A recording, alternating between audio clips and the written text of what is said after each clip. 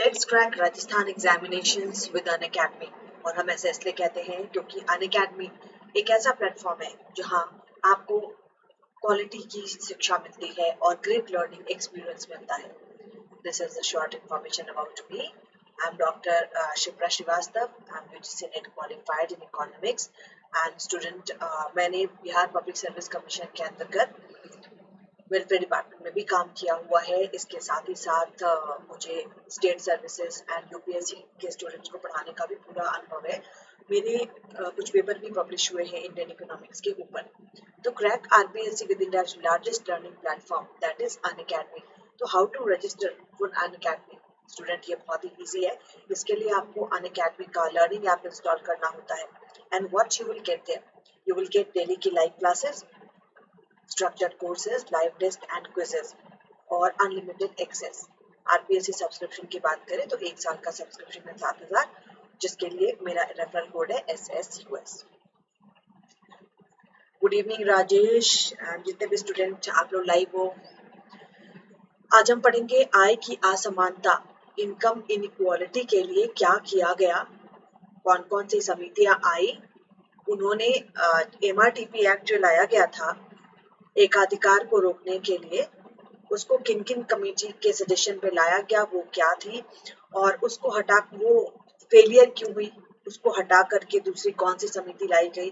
तो हम इस पर डिस्कस करेंगे। जैसा कि ये फ़ोटो आप देख रहे हो इनकम इन इक्वालिटी कि बहुत सारे जो पुअर सेक्शन के लोग हैं, बहुत सारे जो गरीब हैं, उनके पास कुछ भी आय नहीं है और बहुत गिने चुने जो बड़े बड़े घराने के लोग हैं उनके पास बहुत ही ज़्यादा आय है।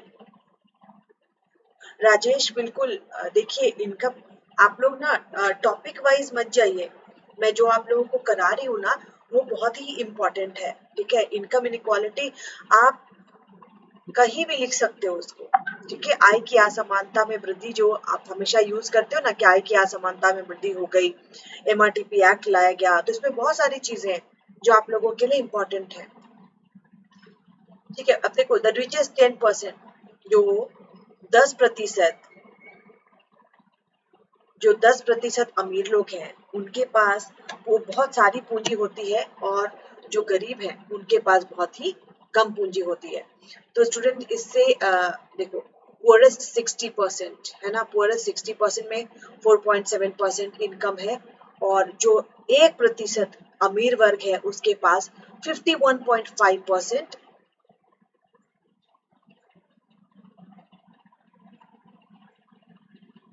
ठीक है? तो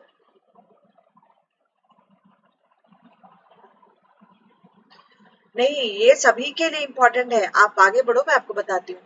देखो, औद्योगिक नीति उन्नीस सौ अड़तालीस की जो औद्योगिक नीति आई थी, पहली औद्योगिक नीति थी ना हमारी, उसमें सरकार ने ये मान लिया कि हम मिश्रित अर्थव्यवस्था है ना तो हम समाजवाद है, ना तो हम पूंजीवाद है, मिश्रित है, ठीक है?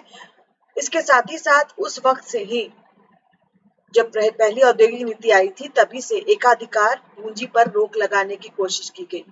एकाधिकार पूंजी का मतलब है, समाज के जो एक परसेंट लोग हैं, एक परसेंट, एक प्रतिशत जो उच्च वर्ग के हैं, कैपिटलिस्ट हैं, अमीर लोग हैं, उनके पास बहुत ही ज़्यादा पूंजी है। इसको हम क्या कहते हैं? मोनोपोलिस्ट, है ना? कि उनके पास एकाधिकार है। अब जिसके पास पैसा रहेगा, माइट इज़ राइट, जिसके पास पैसा रहेगा, उसी का अधिकार रहेगा। तो इसको रोक लगाने की कोशिश की गई। उसके लिए एकाधिकार जाँच समिति बैठी उन्नीस में। सरकार के द्वारा एकाधिकार को रोकने के लिए बहुत सारी समितियाँ लाई गई। ठीक है? एकाधिकार को किस तरीके से कम किया जाए, उसके लिए बहुत सारी कमिटीज लाई गई। औद्योगिक लाइसेंसिंग नीति जाँच समिति, इसको हम क्या कहते हैं? औद्योगिक लाइसेंसिंग नीति जाँच समिति, इंडस्ट्रियल लाइसेंस इंक्वायरी कमिटी ठीक है? तो पहली कमिटी जो कि लाई गई थी एकाधिकार के जाँच के लिए, वो थी सूबीमल दत्त कमेटी तो आप लोगों को कभी कभी एक नंबर पे मिलाने मिलान के लिए भी आ जाता है, सूबीमल दत्त कमेटी किससे रिलेटेड है? तो ये एम एक्ट लाने के लिए जो कमेटी बैठी थी, जाँच कमेटी बैठी थी, ये उससे संबंधित है। इन लोगों से ये रिपोर्ट मांगा गया मांगा गया था कि क्या भारत में एकाधिकार की स्थिति है? अगर ऐसा है तो उसके लिए सजेशन देने के लिए कहा गया था सुबीमल दत्त कमेटी को। तो सुबीमल दत्त कमेटी ने एकाधिकार का जाँच किया और जाँच करके बताया कि लगभग 20 बड़े ऐसे घराने हैं। बड़े घराने का मतलब कि जो बड़े बड़े इंडस्ट्रियलिस्ट हैं। लगभग ऐसे 20 बड़े घराने हैं जिनके पास 33 करोड़ से भी ऊपर की संपत्ति है। ठीक है? तो ये पहली कमेटी आई थी जिन्होंने एकाधिकार का जाँच किया और उनका कहना था कि भाई 33 करोड़ से ऊपर की संपत्ति मात्र 20 बड़े घरानों के पास है। Good evening Nisha. Good evening ठीक है? दूसरी कमेटी आई, हजारी कमेटी 1951 में। ये सारी कमेटी क्यों लाई जा रही थी? ये सारी कमेटी लाई जा रही थी एकाधिकार को रोकने के लिए। है ना? मार्केट में जो बड़े बड़े पूंजीपति वर्ग होते हैं, उनका एकाधिकार हो जा रहा था। वो सारा कुछ वही आ, सारे इनकम का इनकम का सोर्स उन्हीं के पास आ जा रहा था। तो दूसरी कमेटी आई हमारी 51 में हजारी कमेटी ठीक है? गुड इवनिंग आनंद निशा राजेश ठीक है? आज बड़े हैप्पी हैप्पी हो गए आप लोग है ना? अच्छा अनाउंसमेंट किया मैंने। चलो हजारी समिति 1951 ये भी आया था हजारी समिति को भी लाया गया था। कि ये देखने के लिए कि भारत में एकाधिकार की क्या स्थिति है मोनोपोलिस्ट की क्या स्थिति है है ना? तो हजारी समिति ने ने भी अपना रिकमेंडेशन दिया और कहा कि जो बड़े व्यवसायी हैं, जो पूंजीपति वर्ग है, ठीक है, उन्होंने औद्योगिक नीति को विफल करके रख दिया है। औद्योगिक नीति उन्नीस सौ अड़तालीस की क्या थी? 1948 में जो औद्योगिक नीति आई थी, उसमें सरकार ने सारे ही उपक्रमों को अपने हाथ में रखा था ना, सरकार ने किसी को भी प्राइवेट हाथ में नहीं जाने दिया था, है ना? Category A category B category C category D ऐसे करके सरकार ने रखा था, ठीक है? तो हजारी समिति ने बोला कि सरकार ने सारे 1948 के इंडस्ट्रियल पॉलिसी में सारे ही उद्योगों को अपने पास रखा है, ताकि एकाधिकार नहीं हो, लेकिन इसके बावजूद एकाधिकार की स्थिति देखी जा रही है। ठीक है? और इसके अलावा स्टेट जो है, सरकार जो है, वो बड़े बड़े औद्योगिक घरानों के साथ पक्षपात कर रहे हैं। मतलब अब देखो, ये पॉलिटिक्स पॉलिटिक्स की बात है, इतना ज़्यादा डिटेल में मैं नहीं जाऊँगी कि जिनके पास बहुत पैसे होते हैं ना, वो राजनीति में भी हस्तक्षेप करते हैं। है ना?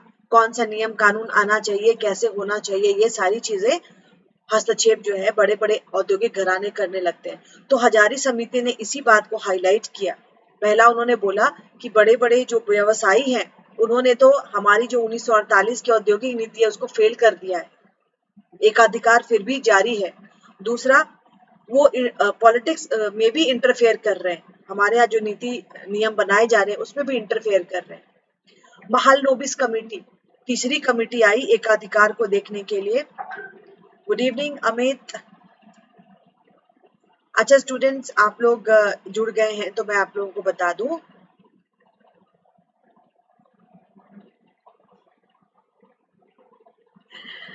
बिल्कुल, मुझे ऐसा मुझे लग रहा था आनंद और अमित, कि ये ज़रूरी है है ना? आप सभी बहुत डिटेल में पढ़ना चाहते हो, और बहुत डिटेल में पढ़ाने के लिए ये ज़रूरी है कि मैं अपनी मर्ज़ी से काम करूँ, है ना? चलो। महाल नोबिस कमेटी, महाल नोबिस कमेटी भी आई थी एकाधिकार को रोकने के लिए, है ना? महाल नोबिस कमेटी भी आई थी एकाधिकार को रोकने के लिए। तो महालोबिस कमेटी कब आई थी? 1964 में। इनसे भी रिकमेंडेशन मांगा गया कि भाई मोनोपोली को रोकने के लिए क्या करना चाहिए? तो इन्होंने भी अपना सुझाव दिया कि कुछ धनी उद्यमियों के हाथ में धन और शक्ति की एकाग्रता हो गई। अब मैं आपको रिपोर्ट दिखाऊँगी। जिस वक्त ये कमेटी के रिपोर्ट आ गए थे, जिस वक्त इस कमेटी के रिपोर्ट आ रहे थे, निशा, बुधवार से आप शुरुआत देखना आप लोग, ठीक है? I am also very happy और आप लोग पूरा सपोर्ट करना। थाउज़ेंड हमें क्रॉस करना है और बुधवार से आप एक शुरुआत देखना और काफ़ी अच्छे से हम चलेंगे, ठीक है? चलिए। तो महालनोबिस कमेटी ने भी बोला है कि भाई, उद्यमियों के हाथ में धन और शक्ति एक जगह एकत्रित हो गई है है ना? Good evening Katrina Kaif oh by god ठीक है, अब देखो, इन्होंने क्या बोला? तीनों कमेटी किस पे आई थी? पहली कमेटी क्या थी? सुबीमल दत्त कमेटी एकाधिकार को रोकने के लिए, आय की असमानता को रोकने के कमेटी का बस नाम याद रखिएगा। आप लोगों को पीटी में मिलान करने के लिए दे देता है एकाधिकार से संबंधित कौन कौन सी समिति आई थी। ठीक है? तो नाम बिल्कुल याद रखिएगा। पहली समिति जो एकाधिकार को रोकने के लिए आई थी, वो थी सूबीमल दत्त कमेटी। दूसरी कमेटी जो एकाधिकार को रोकने के लिए आई थी, हजारी कमेटी। तीसरी कमेटी आई थी, महाल नोबिस कमेटी। है ना? ये तीनों कमेटी का यही कहना था कि लोगों के हाथ में पैसे एक प्रतिशत जो कैपिटलिस्ट है, पूंजीवादी है, उनके हाथ में ज़्यादा पैसे जमा हो गए हैं। उसके बाद आई जो चौथी समिति थी वो एकाधिकार जाँच आयोग 1965 में इसको बैठाया गया। लास्ट में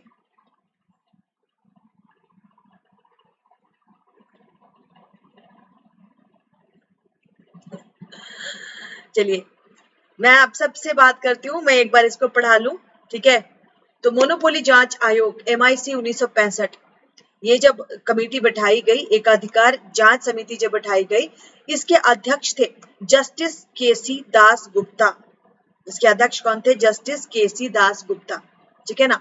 और ये भी पाया गया कि निजी लोगों के हाथ में शक्ति की उच्च मतलब बहुत ही ज़्यादा उन लोगों के हाथ में पैसे थे। एक प्रतिशत लोगों के पास सत्तर प्रतिशत पूंजी थी। ठीक है? इसके अलावा हमारा जो मार्केट था, वो भी काफ़ी अनियमित था। कोई ऐसा कानून नहीं था जो मोनोपोली को रोक सके। अब देखो, उस वक्त के जो मोनोपोलिस्ट थे, एकाधिकारी थे कौन कौन थे? टाटा नंबर वन पे चल रहे थे। बिड़ला, इनका भी नाम आपने सुना होगा। Reliance company, Thapar, JK Singhania, Larsen and Toubro, Modi, Bajaj, Mafatlal. Mafatlal तो खैर बहुत ही बुरे तरीके से निकल गए। ठीक है M A Chidambaram Hindustan Lever United Breweries TVS LTC Shriram ACC Oswal Mahindra SR and Kirloskar ये जो थे उस वक्त के काफ़ी मोनोपोलिस्ट वाली कंपनी थी। ये काफ़ी चलने वाली कंपनी थी। और इन सब में सबसे ऊपर जो एकाधिकार में चल रहे थे ठीक है ठीक है। आप सभी के सारे सजेशन में मान ले रही हूँ। चलो, ठीक है। तो इन सब में देखो इन सब में जो सबसे ऊपर कंपनी चल रही थी, वो टाटा थी, है ना? टाटा कंपनी सबसे एकाधिकार में चल रही टाटा बिरला रिलायंस आज भी है। एनुअल रेमनरेशन ठीक है इन दी कॉर्पोरेट सेक्टर सबसे ज़्यादा सैलरी कौन कंपनी दे रही थी? सबसे ज़्यादा सैलरी दे रही थी नवीन जिंदल, है ना? वो CMD Jindal steel power steel company है नवीन जिंदल सबसे ज़्यादा सैलरी देने वाली कंपनी थी। कैटरीना कैफ आरएएस में इकोनॉमिक्स जो है वो आपको वन फोर्थ कवर करता है राइट लेकिन देखिए मैं हमेशा ये बताती हूँ आपने पूछा मैं बता दूँ कि करंट अफेयर का भी कुछ पोर्शन इकोनॉमिक्स कवर करता है ठीक है? तो आप भी आ, जो मेरे पुराने स्टूडेंट हैं, आपको मेरा मोबाइल नंबर दे देंगे। आप लोग शेयर कर दीजिए, जो भी नए स्टूडेंट आते हैं, ताकि वो लोग भी जुड़ जाए और उन लोगों को भी आगे काफ़ी हेल्प मिले। ठीक है? तो आनंद, आप शेयर कर दीजिए। चलिए, कलानिधि मारन, कावेरी मारन, सुनील मित्तल, ये सारे सबसे ज़्यादा सैलरी देने वाली कंपनीज़ उस वक्त की थी। ठीक है? रीजन क्या था? एकाधिकार बढ़ता जा रहा था, इसका रीजन क्या था? निशा सिंह, आप भी नए हैं, रुकिए, मैं एक मिनट। आप लोग मैं आप लोगों को लिखवा दूँ, उसके बाद मैं आगे पढ़ाऊँगी ताकि आप लोगों को दिक्कत ना हो।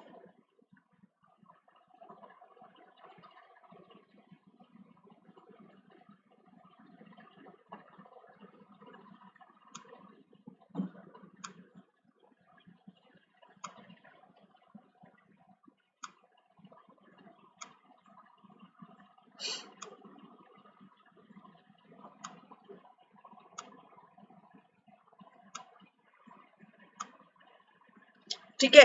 तो आप जितने भी नए हैं, आप लोग भी जुड़ जाइए ताकि आगे की क्लासेस भी। चलिए ठीक है।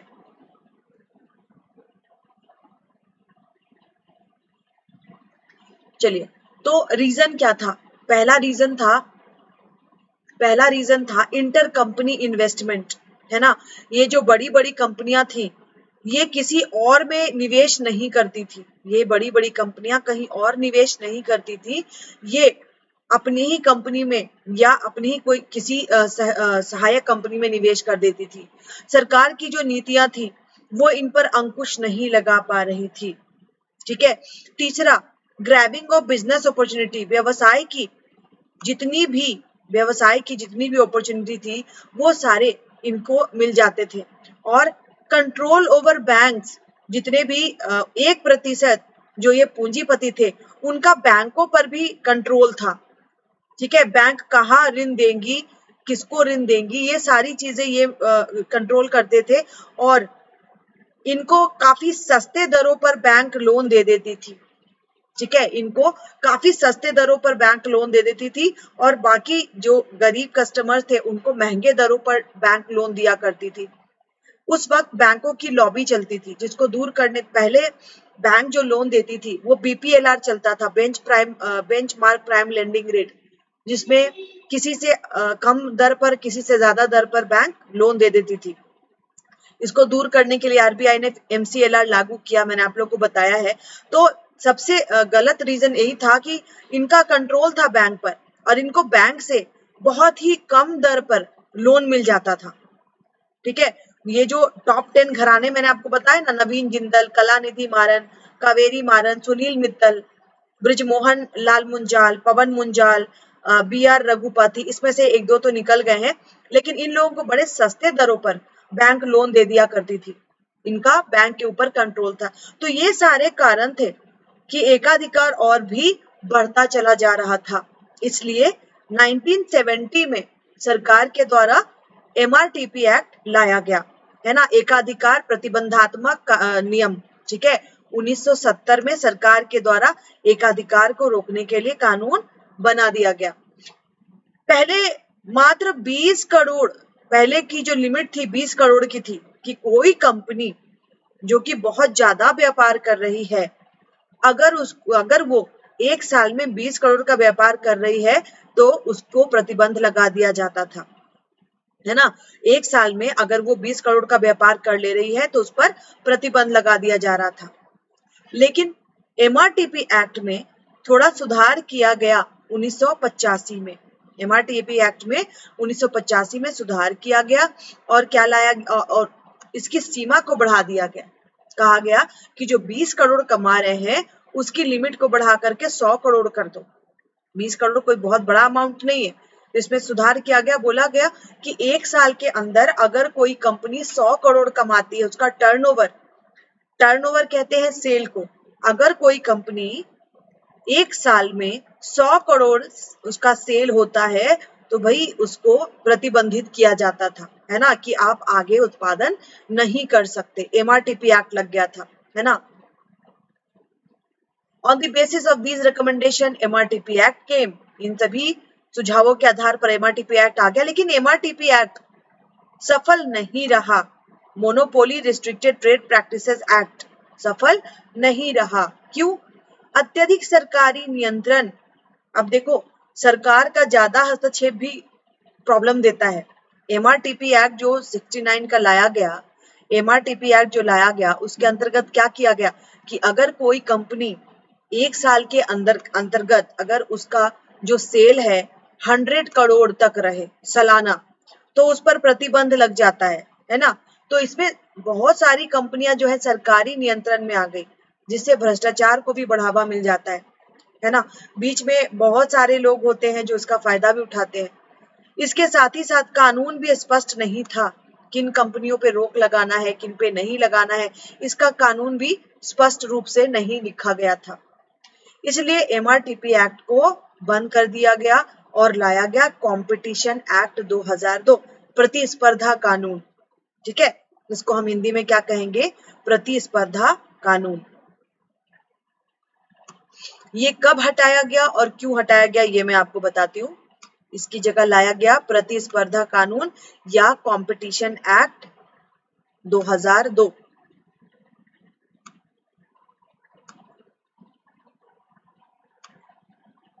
ठीक है? तो प्रतिस्पर्धा कानून लागू हो गया। अब देखो, प्रतिस्पर्धा कानून लागू होने कब, क्यों किया गया?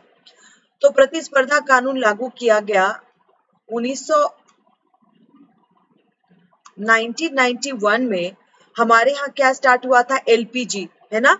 एलपीजी आया था लिबरलाइजेशन हमारी अर्थव्यवस्था का उदारीकरण किया जा रहा था प्राइवेटाइजेशन निजीकरण किया जा रहा था, और ग्लोबलाइजेशन वैश्वीकरण किया जा रहा था। ये तीनों चीज़ें चल रही थी प्राइवेटाइजेशन ग्लोबलाइजेशन एंड लिबरलाइजेशन तो लिबरलाइजेशन के तहत, उदारीकरण के तहत सरकार ने क्या क्या उदारीकरण किया? पहला उदारीकरण किया कि जो एकाधिकार पर रोक लगाया जा रहा था, कि अगर आप सौ करोड़ सालाना कमा रहे हैं तो आपको प्रतिबंधित सरकार कर देती थी, उसको सरकार ने खत्म कर दिया। है ना? सरकार ने लाइसेंसिंग को खत्म किया एमआरटीपी एक्ट को भी खत्म किया। क्यों? क्योंकि ये देखा गया कि आखिर कंपनी जो कमा रही है, वो किसके लिए कमा रही है? थोड़ा अगर अपने को फ़ायदा होता है तो थोड़ी सी अर्थव्यवस्था भी तो ग्रोथ रेट भी तो बढ़ता है। आज का न्यूज़ है ना माइनस ट्वेंटी परसेंट गया है पहला क्वार्टर माइनस ट्वेंटी हाँ आज अभी जो न्यूज़ पढ़ा मैं आपको, परसों डिटेल में बताऊँगी। हमारी तिमाही का जो आज रिपोर्ट आया है, हमारा जो ग्रोथ रेट है that is minus twenty percent ठीक है? और अगर अगले दो क्वार्टर में भी माइनस चला जाएगा तो मंदी कंफर्म हो जाएगी। This is very depressing news एक क्वार्टर मतलब तीन तिमाही में माइनस ट्वेंटी चला गया है ग्रोथ रेट खैर, देखा जाएगा अगली दो दो तिमाही में क्या होता है। है ना? अगर अगली दो तिमाही में ये आज का ये आज का रिपोर्ट है थर्टी फ़र्स्ट अगस्त को। मॉस्पी के द्वारा ये रिपोर्ट जारी की गई है। मैं थोड़ा आप लोग को बता दूँ थर्टी फ़र्स्ट अगस्त, आप लोग बिज़नेस स्टैंडर्ड और इकोनॉमिक्स टाइम दोनों में ये न्यूज़ बहुत आ रहा है, इसको देखिएगा। माइनस ट्वेंटी परसेंट हमारा ग्रोथ रेट चला गया है।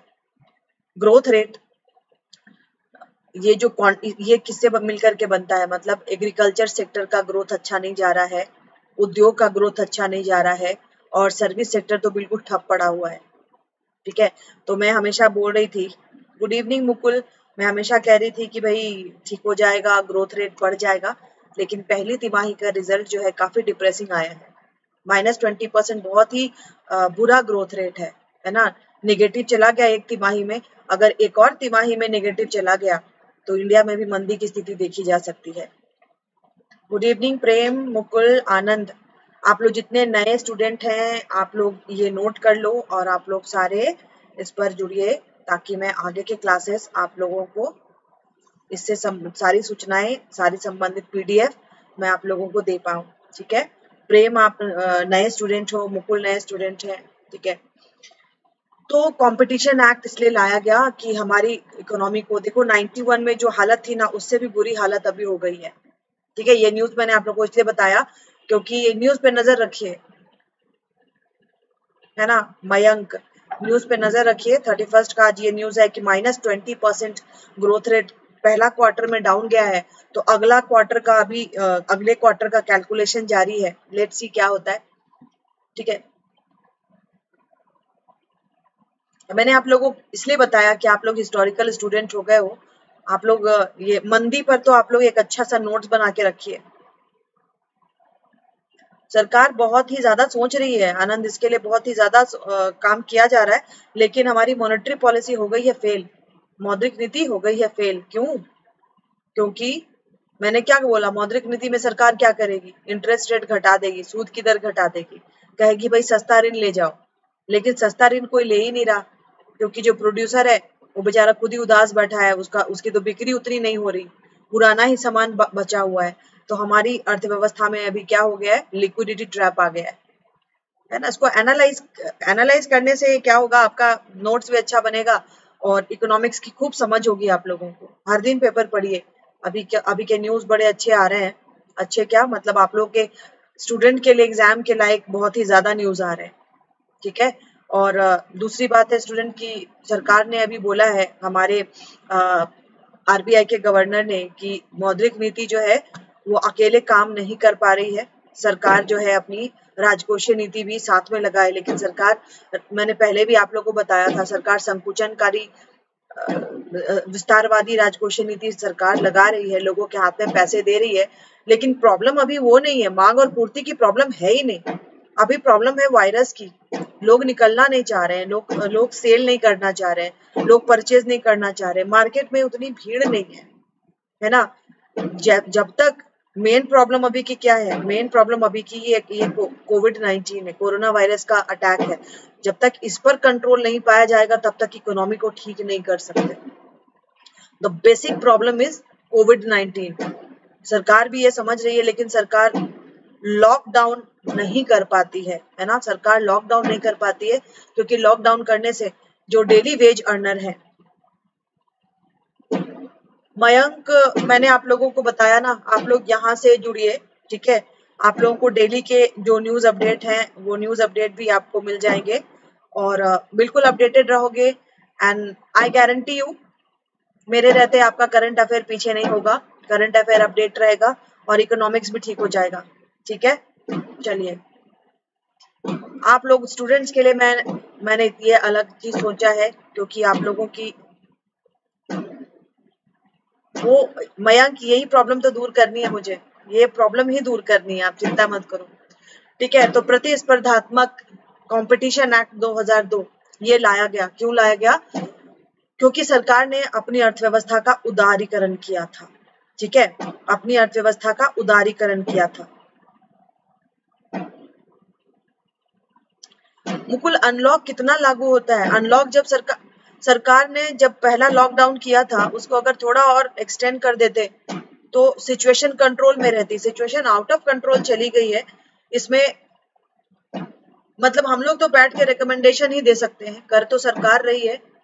आज का जो रिपोर्ट है कि माइनस बीस प्रतिशत हमारा जो ग्रोथ रेट है नेगेटिव चला गया है तिमाही में तो इसको ठीक करने के लिए स्वास्थ्य मंत्रालय के साथ बैठ करके बैठक करनी चाहिए। करना तो यही चाहिए हेल्थ डिपार्टमेंट इकोनॉमिक डिपार्टमेंट सारे मिलजुल करके इस पर बैठ करके विचार करना चाहिए, क्योंकि मेन प्रॉब्लम अभी डिमांड और सप्लाई नहीं है। अब इतने बड़े बड़े इकोनॉमिस्ट बैठे हैं, ऊपर तो समझ ही रहे होंगे, लेकिन हम जो डेली पढ़ रहे हैं, हमें भी समझ में आ रहा है कि मेन प्रॉब्लम अभी मांग और पूर्ति नहीं है वही मांग भी है, लोगों के हाथ में पैसे भी है, लेकिन वो मार्केट में नहीं निकल रहे, क्योंकि बीमारी का डर है। ठीक है ना? तो इसको इसको कहते हैं कोविड इकोनॉमिक आप लोग इस पर लिखिए, लिख करके एक, बना करके रखिए नोट्स क्योंकि ये तो पक्का पूछा जाएगा कि सरकार अभी, देखो मैं क्या पढ़ा रही थी, लेकिन आप लोगों को थोड़ा डिटेल थोड़ा डिस्कस कर दूँ, क्योंकि आज ये न्यूज़ आया तो मुझे याद आ गया, सरकार जो है इसको ठीक करने के लिए पूरी कोशिश कर रही है, लेकिन उसको पूरा नहीं कर पा रही है।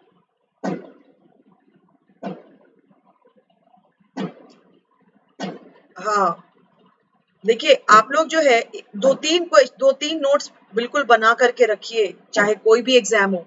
पहला कोविड 19 कोरोना वायरस के टाइम में सरकार के द्वारा कौन सी नीति अपनाई गई? क्या वो नीति सफल हुई? अगर नहीं हुई तो क्यों? पहला तो ये सवाल है, ये बना के रखिए। दूसरा, जैसे आज आज का जो रिपोर्ट है इकोनॉमिक्स टाइम का, कि आर्थिक वृद्धि की दर पहली तिमाही में माइनस बीस परसेंट चली गई है, ऋणात्मक देखी गई है। अगले दो दो तिमाही में अगर और ऋणात्मक देखी गई तो मंदी आ जाए, मंदी डिक्लेयर हो जाएगा, है ना?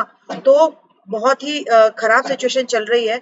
तो इस सिचुएशन से निकलने के लिए क्या क्या किया जा सकता है है ना? इस पर आप लोगों को मैं भी बुधवार से इस पर काफ़ी चर्चा करेंगे और मैं आप लोगों को डिटेल में नोट्स दूँगी, ठीक है? तो आगे बढ़ते हैं, इसको हम खत्म करते हैं, फिर लास्ट में आप लोगों से बात कर लूँगी। तिमाही क्वार्टर को कहते हैं मयंक।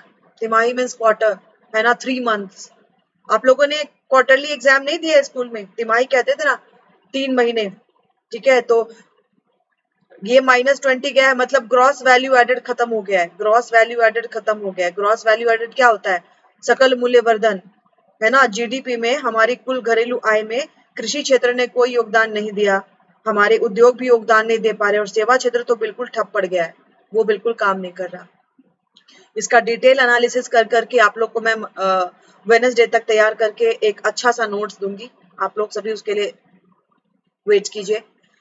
ठीक है तो एमआरटीपी एक्ट जो था monopoly restricted trade practice act एकाधिकार को रोकने के लिए था। उसको खत्म कर करके सरकार के द्वारा प्रतिस्पर्धात्मक कानून लाया गया 2002 क्यों लाया गया? क्योंकि एमआरटीपी एक्ट के रहने से हमारी इकोनॉमी में लाइसेंसिंग की प्रॉब्लम ठीक है, सरकार का थोड़ा ज़्यादा कंट्रोल उसकी वजह से जो व्यापारी थे, वो खुल के काम नहीं कर पा रहे थे। सरकार ने 1991 में जो एलपीजी लाया, उसमें सरकार ने यही लॉजिक दिया था कि अगर व्यापारी खुल के काम करेंगे, सौ करोड़ से ज़्यादा भी कमाएँगे तो उसे इंडियन इकोनॉमी को भी फ़ायदा होगा।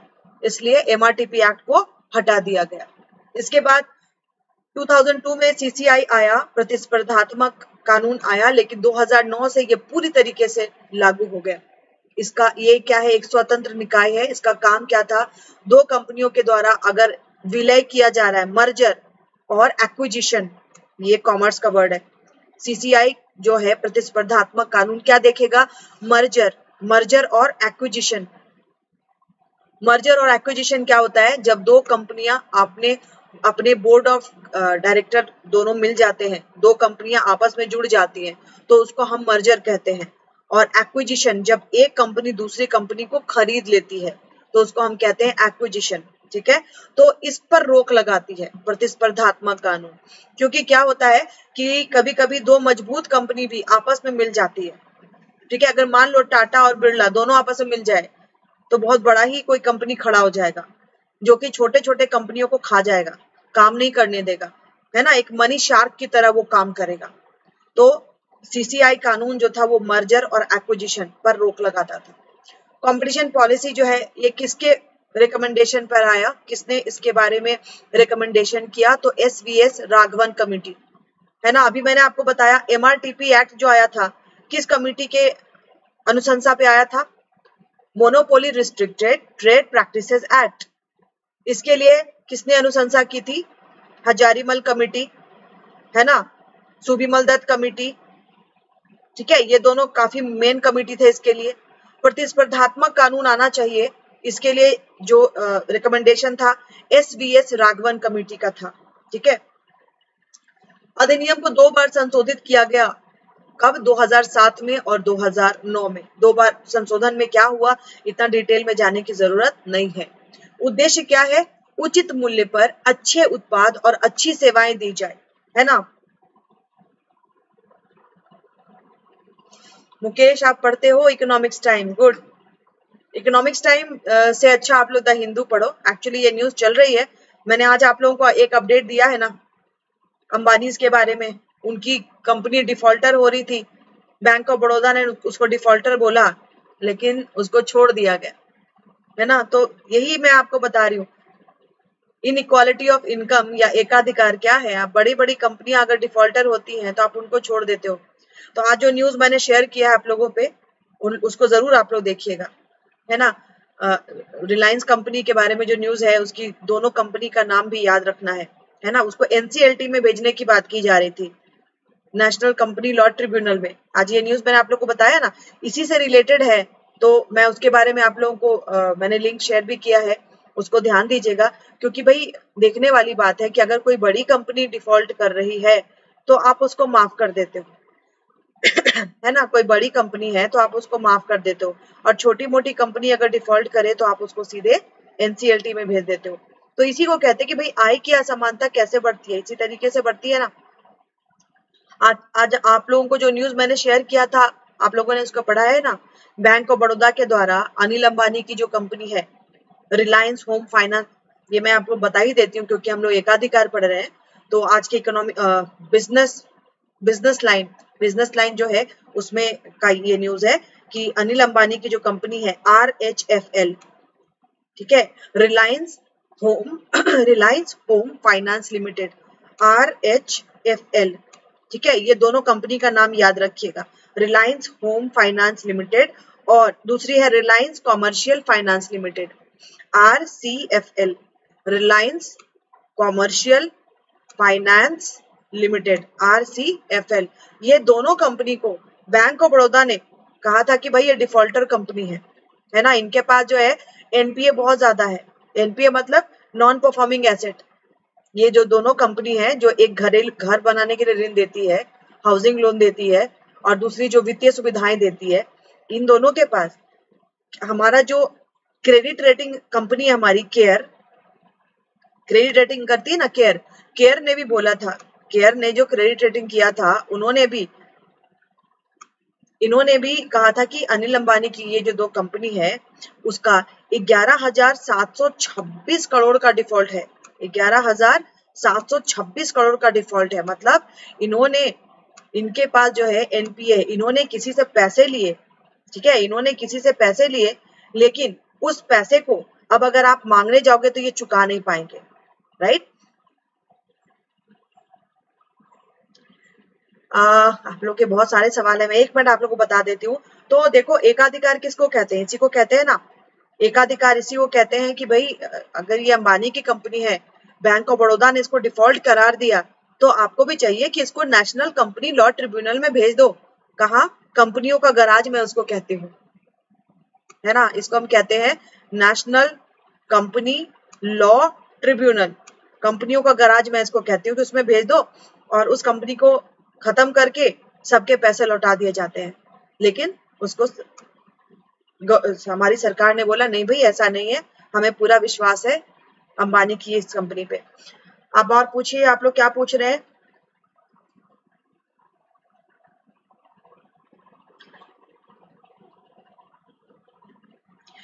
संदीप, देखिए, द हिंदू को बिल्कुल आगे से मत पढ़िए। नेशनल न्यूज़ बिल्कुल मत पढ़िए। नेशनल न्यूज़ से आप लोग कोई मतलब नहीं होता। बहुत ही कम न्यूज़ उसमें से उठाए जाते हैं। द हिंदू को पीछे से पढ़िए, ठीक है? मतलब सबसे पहले पढ़िए उसका गेम का न्यूज़, उसका जो स्पोर्ट्स का न्यूज़ है सबसे पहले पढ़िए। उसके बाद साइंस एंड टेक्नोलॉजी को पढ़िए। फिर बिज़नेस न्यूज़ पढ़िए, इंटरनेशनल पढ़िए। तब आपका अगर समय बच जाए, तब आप नेशनल पे आइए। ये तरीका है द हिंदू पढ़ने का। आप लोग क्या करते हो ना, किसी भी न्यूज़ पेपर को फ्रंट पेज से उठाते हो national news national news it won't help students राष्ट्रीय समाचार से बहुत ही कम समाचार उठाए जाते हैं। क्वेश्चन बैंक आप आप लोग अपना पुराने क्वेश्चंस भी आप लोग उठा करके देखना। बहुत ही कम नेशनल न्यूज़ मिलेंगे। अंतरराष्ट्रीय समाचार ज़्यादा मिलेंगे। साथ ही साथ आपको इस पे गेम्स पे मिलेगा स्पोर्ट्स पे मिलेगा टेक्नोलॉजी पर मिलेगा और बिज़नेस पर मिलेगा। ये न्यूज़ आपको ज़्यादा पूछे जाते हैं। तो इस तरीके से और इसमें अपना एक नोट्स बनाने की कोशिश कीजिए कि भाई अगर किसी गेम का नाम आ गया तो वो गेम कौन खेलता है? उस गेम में अवार्ड किसको किसको मिला? उस गेम में सबसे ऊँचा अवार्ड कौन सा है? इस तरीके से नोट्स बनाए जाते हैं। सब मैं आप लोगों को धीरे धीरे बताऊँगी। अभी तो मेरी क्लासेस स्टार्ट होने वाली हैं, है ना?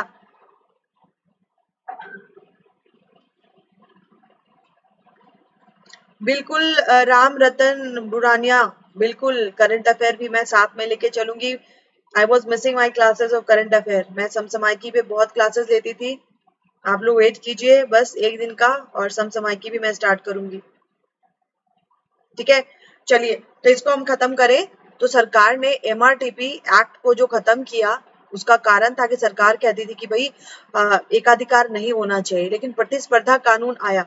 अब देखो, ये तो आज की बात है ना, जो आरएचएफएल की बात मैं कह रही हूँ, अंबानी की कंपनी को छोड़ दिया गया, ये तो अभी रिसेंट बात है, जब प्रतिस्पर्धा कानून भी आ गया है। प्रतिस्पर्धा कानून क्यों आया था? प्रतिस्पर्धा कानून कंपटीशन लॉ इसलिए आया था, क्योंकि दो कंपनियों के बीच फेयर कंपटीशन होना चाहिए। है ना? कट थ्रोटिज्म नहीं होनी चाहिए। एक दूसरे का गला ना काटे। एक दूसरे का गला कैसे काटेंगे? कैसे होती है? Malpractice. दो बड़ी बड़ी कंपनियाँ आपस में मिल जाती है, एक छत के नीचे आ जाती है और छोटी छोटी कंपनियों को मार्केट से बाहर कर देती है। ठीक है? This is called cut throatism merger acquisition नाम याद रखिएगा। दो कंपनियाँ जब मिल जाती है मर्जर एक कंपनी दूसरे को खरीद लेती है एक्विजिशन ठीक है? तो मर्जर और एक्विजिशन कर करके जो अमीर कंपनी है, बड़ी कंपनी और बड़ी होती जाती है, बिल्कुल शार्क की तरह बन जाती है और छोटी कंपनियों को खा जाती है। तो इसके लिए प्रतिस्पर्धा कानून लाया गया कि भाई कट थ्रोटिज्म नहीं होना चाहिए।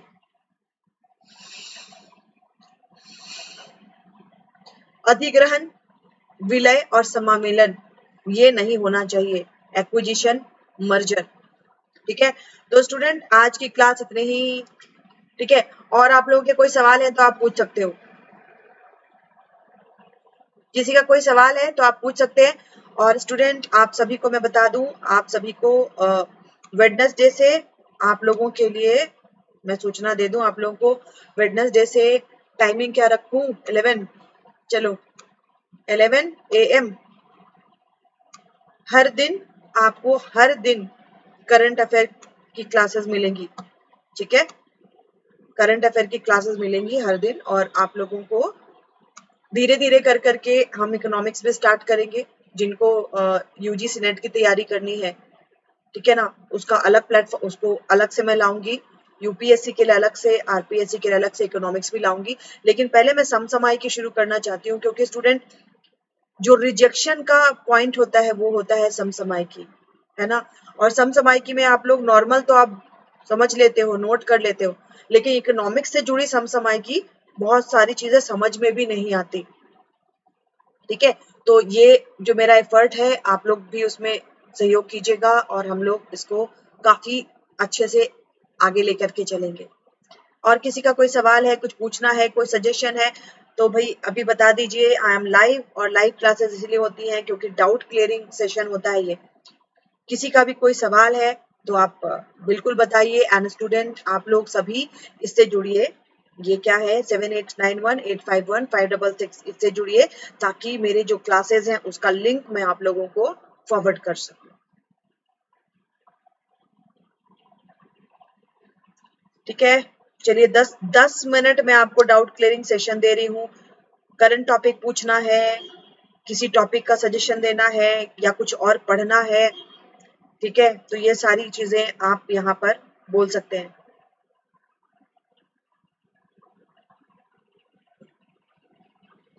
मुकुल कल क्लासेस नहीं है, अब मैं वेनसडे से आप लोगों को लिंक दूँगी। वेनसडे से क्लासेस स्टार्ट होंगी बुधवार से, ठीक है? बुधवार से मैं आपको क्लास की लिंक दे दूँगी।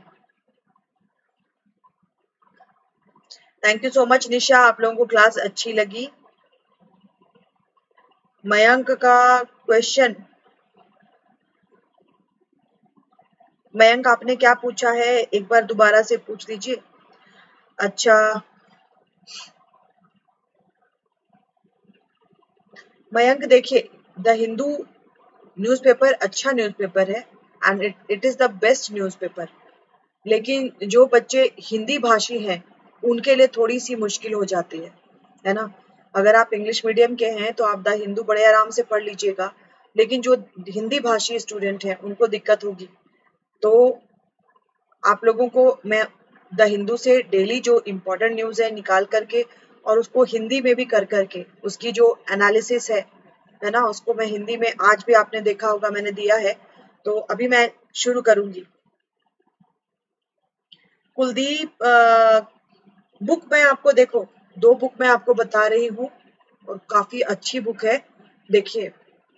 इंडियन इकोनॉमी की अगर हम बात करें रुको मैं एक ब्लैंक स्लाइड लेकर के आप लोगों को बता ही देती हूँ।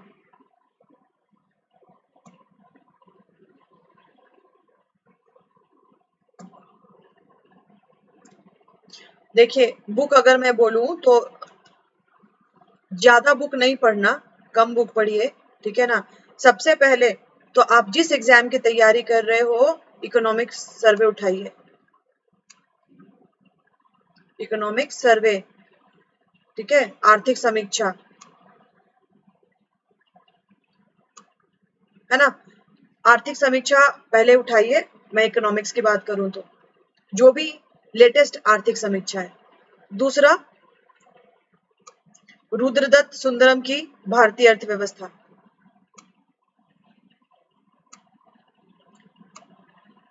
मैं आपको ये भी बताऊँगी कि मुख्य परीक्षा के लिए क्या पढ़ना है और प्रारंभिक परीक्षा के लिए कौन सी बुक अच्छी रहेगी। नोट कर लीजिए, रुद्रदत्त सुंदरम, ये अगर आप मुख्य परीक्षा देने जा रहे हैं तो ये काम देगा। क्योंकि सुंदरम की बुक में काफ़ी डिटेल में रहता है सब कुछ। बहुत ही डिटेल में। और आई गारंटी यू अगर इन दोनों को आपने जोड़ के पढ़ लिया इकोनॉमिक सर्वे और रुद्रदत्त सुंदरम तो इससे आगे इंडियन इकोनॉमिक कुछ नहीं है। है ना? इन दोनों को जोड़ करके और साथ में बजट बस। और हम एमसीक्यूज का सेशन भी खूब सारा करेंगे। वस्तुनिष्ठ प्रश्न की श्रृंखला भी मैं खूब लाऊँगी। क्योंकि स्टूडेंट आप कितना भी पढ़ लो, जब तक आप क्वेश्चन आंसर नहीं बनाते हो, तब तक फ़ायदा नहीं करता है। ठीक है? और एक और बुक है, मैं वो भी मेंशन करना चाहूँगी मिश्रा एंड पुरी ये भी भारतीय अर्थव्यवस्था पे है मिश्रा एंड पुरी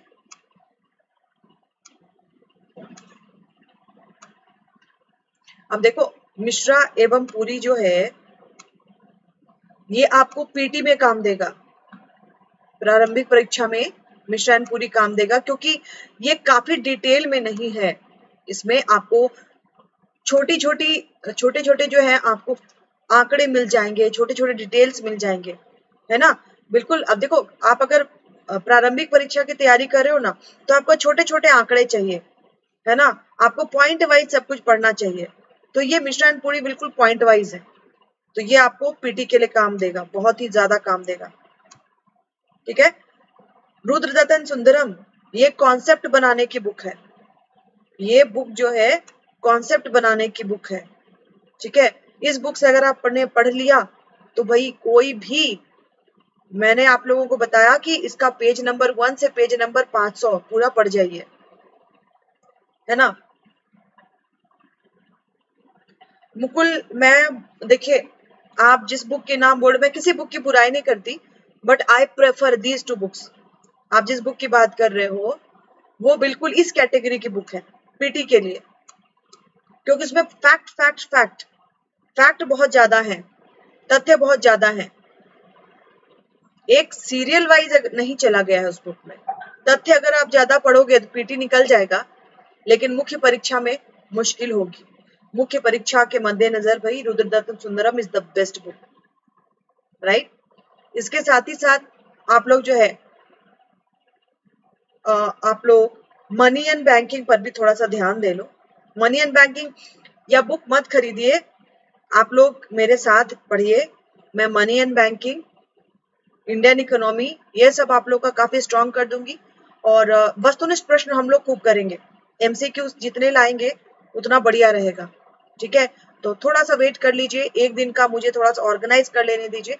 तो हम लोग वस्तुनिष्ठ प्रश्नों की श्रृंखला भी और मैं स्टार्ट करना चाह रही हूँ करंट अफेयर से, क्योंकि करंट अफेयर पे एक बार कमांड आ जाए ना, आपको पढ़ना आ जाना चाहिए। करंट अफेयर एक बार आपका नोट्स बनना शुरू हो जाए तो कॉन्फिडेंस आपका बढ़ जाएगा। ठीक है? उसके एक साल के बाद जितने स्टूडेंट हो आप लोग मुझे फ़ोन करोगे। शिप्रा मैम, हमने कंप्लीट कर लिया। है ना? चलिए और कोई सवाल? किसी का कोई सवाल है तो बताइए। पाँच मिनट और है मेरे पास।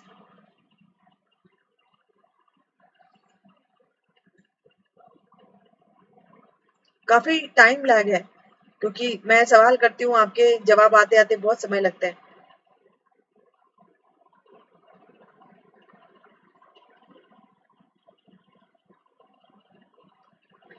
ठीक है और किसी का कोई सवाल नहीं है तो स्टूडेंट चलिए आज के लिए इतना ही। और आज जो मैंने आपको पढ़ाया है, इसका भी मैं आप लोगों को पीडीएफ दे दूँगी। ठीक है? एग्रीकल्चर प्राइस पॉलिसी पंचवर्षीय योजनाएँ इनकम इनक्वालिटी इन सभी को मर्ज कर करके आप एक नोट्स बना लेंगे। है ना? और कैसे नोट्स बनाना है मैंने आपको बताया। पंचवर्षीय योजनाओं को बेस बनाइएगा। और इन सारे जो भी आंकड़े मैंने आपको लिखाए हैं, जो भी चीज़ें बताई हैं, उन सबको इसमें मिक्स कर लेंगे। ठीक है? और राजेश पटेल, आपने जो पूछा है मैम ये रेलिवेंट किसमें होगा? देखिए राजेश आय की असमानता पर अगर लिखने को आता है तो आप ये चीज़ें लिख सकते हो ना? आय की असमानता पर लिखने को आए, या अगर आपको पंचवर्षीय योजना पर लिखने को आए ठीक है? या आपको अगर जो हमारा, हमारी नई आर्थिक नीति थी, उस पर लिखने को आए, औद्योगिक नीति पर लिखने को आए, कुछ भी अगर आता है, आप इसको इंक्लूड कर देना। है ना? एलपीजी जब लाया गया एमआरटीपी एक्ट हटा दिया गया तो मैंने आपको क्या बताया? एमआरटीपी एक्ट बताया है और प्रतिस्पर्धा कानून बताया है। तो एमआरटीपी एक्ट हटा दिया गया, क्या था, क्यों लाया गया था? और खासकर जो मैंने आप लोगों को कमेटी का नाम बताया, कमेटी का नाम याद रखिएगा, क्योंकि पिछले एग्ज़ाम्स में पूछा भी गया है। सूबी मलदत कमेटी एमआरटीपी एक्ट के लिए, Hazari committee Mahalanobis committee, monopoly जाँच आयोग, ये चारों याद रखिएगा। और इसके अलावा जो मैंने आप लोगों को एक और कमेटी बताई कंपटीशन एक्ट के लिए कौन सी कमेटी आई थी? S V S Raghavan committee, इसका भी नाम याद रखिएगा। ये चार कमेटी आपको पीटी के लिए याद रखना है। मुख्य परीक्षा के लिए तो आप एलपीजी जो हमारा था, उसमें इसको जोड़ करके लिख दीजिए। ठीक है? और किसी का कोई सवाल है?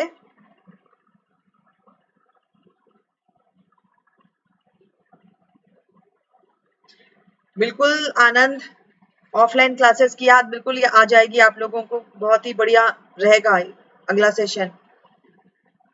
थैंक यू निशा। और किसी का कोई सुझाव है, कुछ है तो आप बता दीजिए, या और आप लोग कुछ ऐड करके पढ़ना चाहते हो?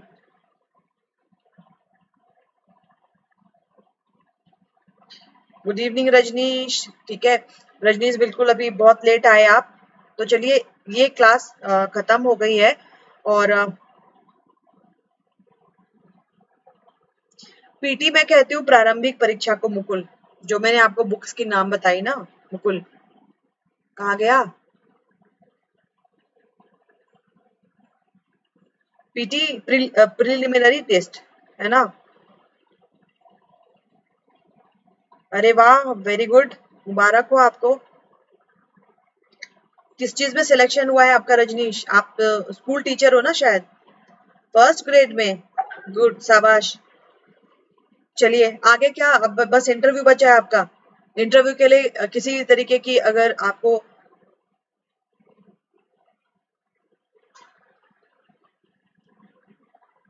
वो है आनंद, बिल्कुल वो है। आपको मैं ऐड कर दूँगी उसमें।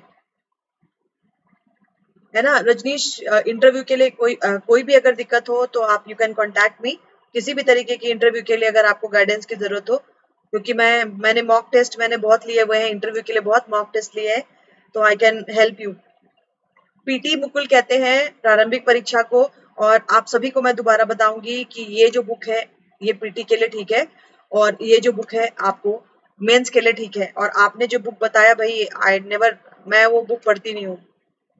ठीक है? चलिए तो आज के लिए इतना ही स्टूडेंट्स और आप लोग सभी जो है इससे जुड़िए।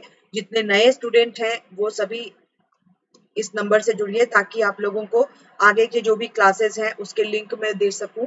है ना? इसके साथ आप सभी को मैं बताना चाहूँगी कि आप लोग वेडनेसडे का वेट कीजिए बुधवार। बुधवार को 11 ठीक है? 11 एम करंट अफेयर की क्लासेस स्टार्ट करूँगी। इसका सबका लिंक आप लोगों को दे दिया जाएगा। चलिए, आज के लिए इतना ही। Thank you